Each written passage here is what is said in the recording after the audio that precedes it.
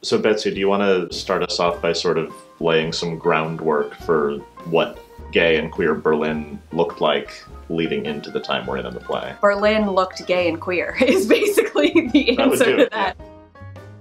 I play Baz in A Bright Room Called Day. He is, uh, I mean, a very out gay man living in Berlin at this time, and I think is very involved in that subculture. Berlin was this cultural sort of explosion of not only homosexuality, um, but self expression in general.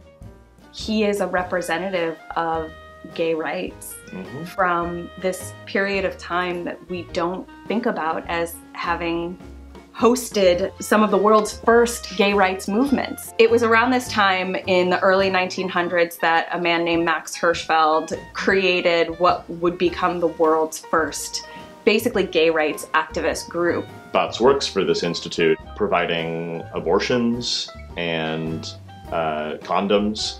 It's kind of like the Planned I Parenthood was just gonna of say, Germany. yes. There was absolutely a movement towards a cultural and governmental support and tolerance.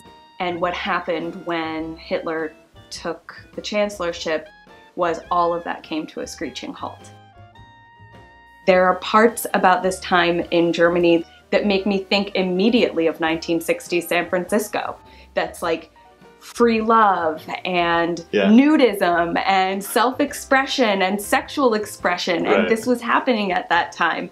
And then you have when Tony Kushner's writing A Bright Room Called Day in the late 80s, mm-hmm. early 90s, the ache, the yearn for someone to be fighting. because he's writing in the time of the AIDS epidemic and you know thinking about gay men living for today because no one's really on their side is absolutely resonant in this play working on this play routinely you realize what a tapestry kushner has woven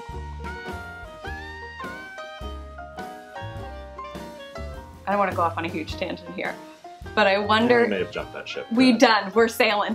Um,